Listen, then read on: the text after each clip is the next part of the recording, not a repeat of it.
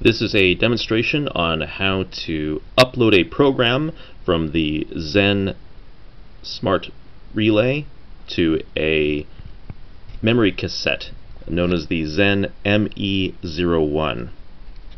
The first thing we'll need to do is actually put this into the right setting mode so we're going to push OK and right now this it is actually running right now so we're going to go down to stop from there we're going to hit the up arrow to get us to program.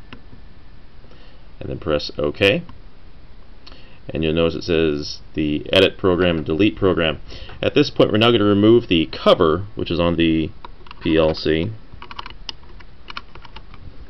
try to.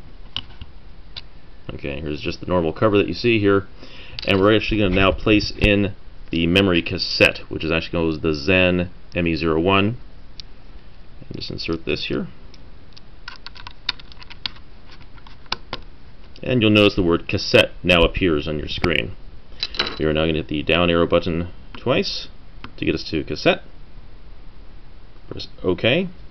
You'll notice it now says either you can save from the CPU to the MC, which means going from the PLC itself to the memory cassette or load from the memory cassette to the CPU. So right, we actually want to do is we want to save. So we actually want to take the information from the Zen PLC and put it into the memory cassette.